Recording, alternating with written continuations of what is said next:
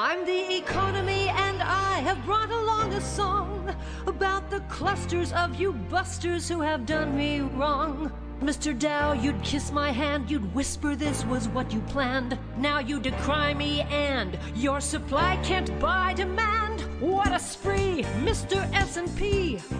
Got me all besotted too, then trotted through to fan your fantasy. Mr. NASDAQ, even you, you gave me than my due. And now you chaps have seen collapse to scraps of everything you blew. I didn't pop, I didn't swap. And when a market jumps the shark, it certainly deserves to drop. Hey boys, I see the dark of dread upon your street as you deplete and talk in shock of your retreat. I'm trying hard to stay happy in these desperate times. As far as I can